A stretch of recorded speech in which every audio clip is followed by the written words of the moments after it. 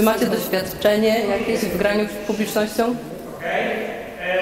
Ja kilka razy występowałam.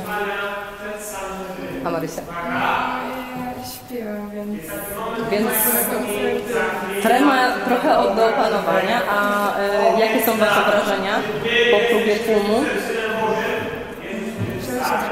Trzeba się drzeć. A mm, emocje, jakie Was wzbudza e, zbliżające się misterium i to, co tu się dzieje? A Wasze oczekiwania, jak to będzie na misterium? Jak to przeżyjecie? To.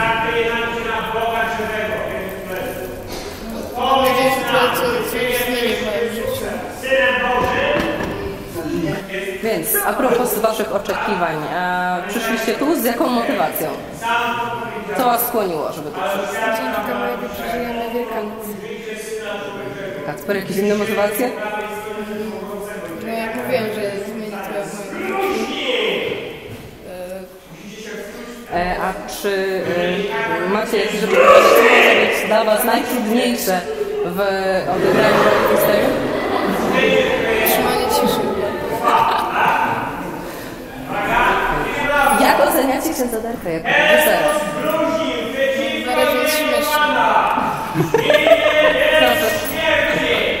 真会带